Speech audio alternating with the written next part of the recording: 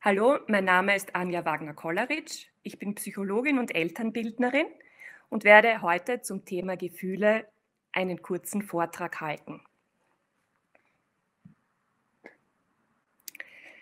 Jeder von uns kennt Situationen, in denen wir unseren Gefühlen ausgeliefert waren, in denen wir einfach nicht unter Kontrolle hatten, wie wir uns fühlen. Willkommen in der Welt der kleinen Kinder. Kleinen Kindern geht es immer so. Sie sind von ihrer Gehirnentwicklung noch nicht fähig, ihre Gefühle kontrolliert auszudrücken. Sie erleben etwas und sind den Gefühlen ausgeliefert, ohne etwas dagegen tun zu können. In unserem Gehirn gibt es verschiedene Gehirnareale, die für unterschiedliche Funktionen zuständig sind.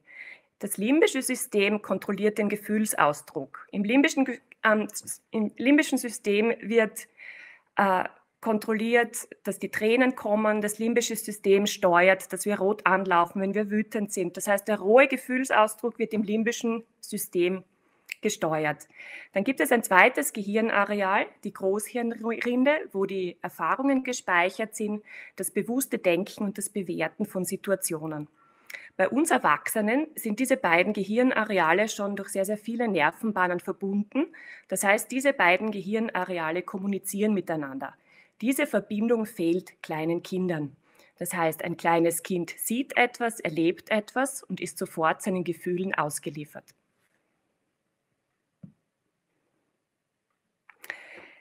Wie die Kinder ihre Gefühle zeigen, wie die Kinder ihre Gefühle erleben, hängt ganz stark von, ihm, von ihrem Temperament ab.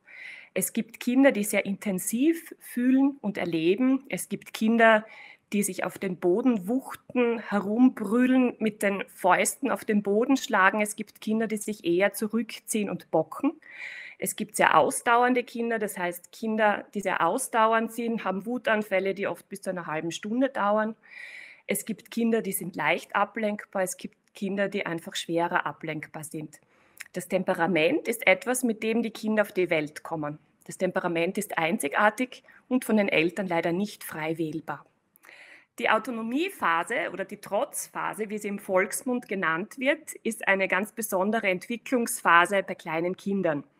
In dieser Zeit erleben Kinder ihren eigenen Willen. Sie merken, dass sie nicht untrennbar mit ihren Bezugsver äh, mit ihren Bezugspersonen verbunden sind, sondern dass sie eigenständige Menschen sind. Wenn die Kinder ihren Willen entdecken, möchten sie ihren Willen natürlich durchsetzen und dabei stoßen sie immer wieder auf Hindernisse. Das heißt, sie wollen Dinge, die sie noch nicht können oder sie wollen Dinge, die sie nicht dürfen. Dabei sind sie von starken Gefühlen begleitet und sehr oft sind dann sogenannte Trotzanfälle oder Wutanfälle an der Tagesordnung. Diese Entwicklungsphase ist ganz, ganz wichtig für die Kinder, denn sie lernen in dieser Phase, wann sie sich durchsetzen können und wann sie sich anpassen müssen. Ähm, ein typischer Trotz- oder Wutanfall läuft nach einem ähnlichen Muster ab. Es gibt einen Auslöser. Diese Auslöser sind ganz unterschiedlich. Sehr oft sind es Dinge, die man mit den Kindern machen möchte. Das heißt, man zieht sie an, man wickelt sie, man gurtet sie im Auto an. Oder ähm, man verlangt von den Kindern etwas, man unterbricht sie in ihrem Spiel oder ganz einfache Dinge wie man betritt das Zimmer und schaltet das Licht ein, obwohl das Kind das Licht einschalten wollte. Das Kind kommt dann in die Wut und bleibt je nach Temperament in der Wut drinnen. Das kann, wie schon erwähnt, bis zu einer halben Stunde dauern und danach beruhigt sich das Kind wieder.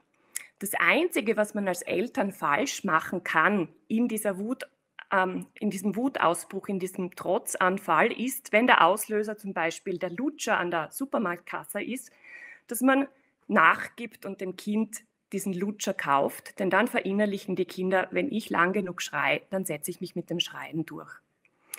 Kleine Kinder können sich oft an den Auslöser, nachdem der Wutanfall vorbei ist, nicht mehr erinnern. Das heißt, Erziehungsmaßnahmen wie über das zu sprechen, was davor passiert ist, bringen sehr wenig.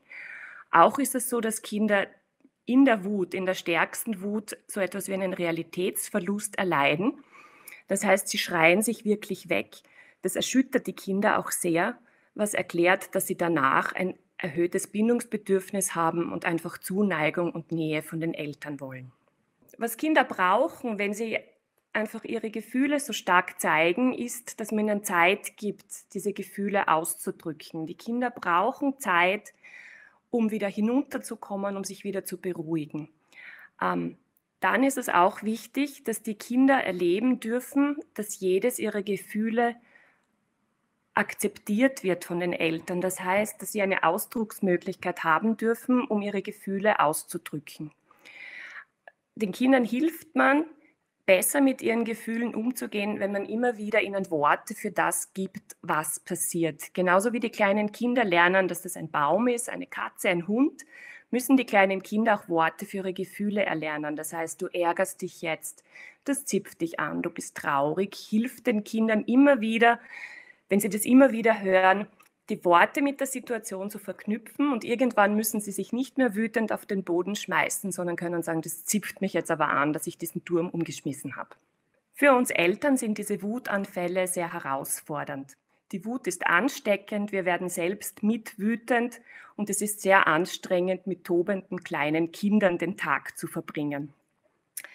Uns hilft es einfach zu wissen, dass diese Wutanfälle zu einer gesunden kindlichen Entwicklung gehören, es hilft uns zu wissen, dass die Gefühle ansteckend sind. Das heißt, es sind nicht unsere Gefühle, die wir da fühlen, sondern wir übernehmen die Gefühle unserer Kinder.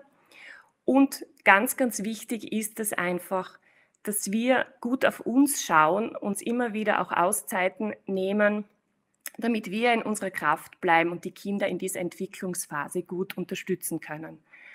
Ein sehr bekannter Entwicklungspsychologe hat gesagt, gute Eltern machen 13 Erziehungsfehler am Tag. Und ich sehe das als einen Appell, Abschied von einem Perfektionismus zu nehmen, der uns Eltern zu sehr stresst und den Alltag mit den kleinen Kindern noch herausfordernder macht, als er sowieso ist. Vielen Dank für Ihr Interesse an dem kurzen Vortrag. Ich wünsche Ihnen viele, viele schöne Momente mit Ihren Kindern. Und denken Sie daran, Kinder wollen keine perfekten Eltern haben, Kinder wollen authentische Eltern. Auf Wiedersehen.